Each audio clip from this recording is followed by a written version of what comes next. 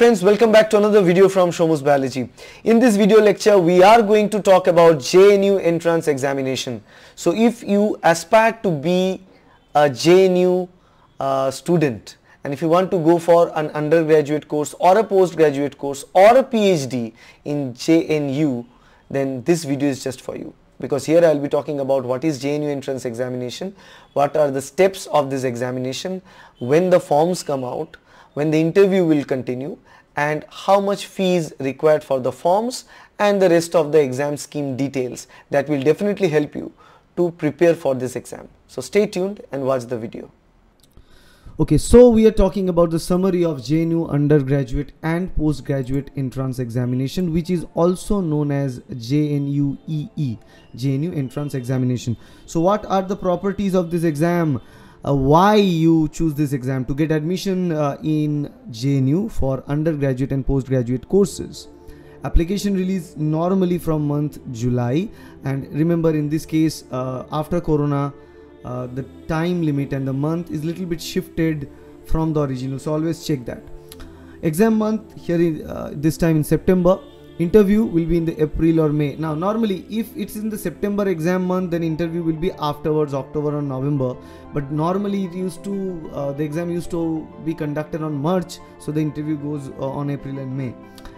Eligibility minimum aggregate score of 55% and above in your last qualifying exam that can be plus 2 for UG courses and uh, you like 55% in your undergraduate for PG courses age limit as per UG age limit rule.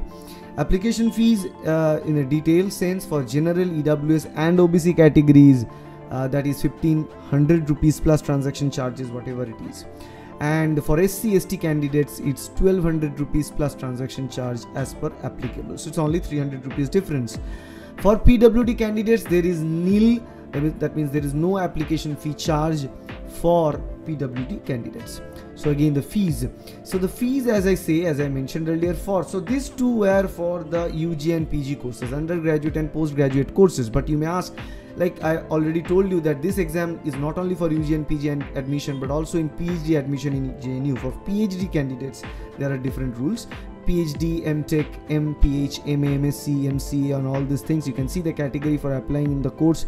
There are multiple courses you can apply in this university. You can apply to one to three courses. If you apply for one course for general OBC and EWS, the price will be 530. Uh, for SCST 310 and uh, BPL that is below poverty line that is 110.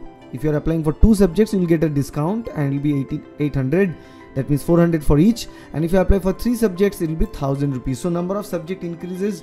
It's a good scheme because uh, they always know that you are going to ultimately end up in only one particular stream. So they are going to get the rest of the money. And for BA honors first year BSc MSc integrated program and all part-time programs uh, for one application one course application is 400 for general two course 575 and three course 750 SCST OBC and the rest of the details are provided. I'm not going to read it for you but you can take a screenshot of this page so that you get to know about the details. Now what is the scheme of the exam which is really really important the mode of the exam is a LAN based, that is CBT, computer based exam. Type of the questions will be multiple choice questions. Duration will be 3 hours. Number of question approximately 100 here. And the marks per question will be 1 for each correct answer. So 100 marks all total. There is no negative marking for incorrect responses. And the paper will be in the English language only okay? But if you choose any language courses like any other hindi uh, marathi gujarati any other language in that case the question paper will be on that language. Apart from that general sense the paper will be in english. So that's the overall summary of jnu entrance examination.